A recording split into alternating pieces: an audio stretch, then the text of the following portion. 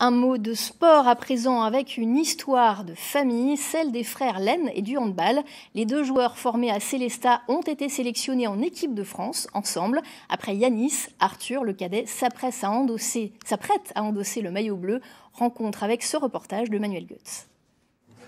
Après Yanis, c'est Arthur qui va embrasser sa carrière internationale. de frères en bleu, de frères heureux. C'est une chance déjà, je pense, de pouvoir de pouvoir évoluer ensemble sous, avec ce maillot-là. On est passé, je dirais, du, du rêve de gosse, on en parlait quand on était vraiment tout jeune, à, un objectif assez rapidement. Mais, non, c'est incroyable que ça arrive aussi vite.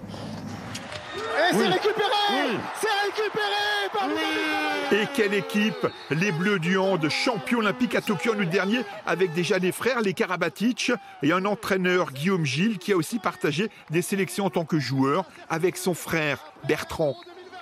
Quand on a la chance euh, déjà de partager euh, la même passion, euh, quand on a l'opportunité de faire de cette passion son métier, et qu'en plus elle nous permet de nous retrouver entre frères en équipe de France à porter ce maillot bleu, bah, c'était un sentiment assez, assez spécial. Ce samedi, Yanis, 25 ans, et Arthur, son cadet, 20 ans, vont forcément vivre une émotion particulière sur le terrain à l'heure où la Marseillaise retentira. Ouais, pour ma part, en tout cas, oui.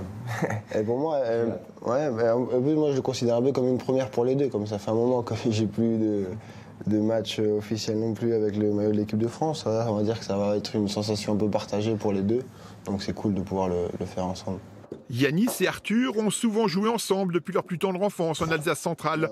Ce week-end, lors de cette Golden League, ils le feront ensemble en défendant le maillot bleu de l'équipe de France. En termes de sport,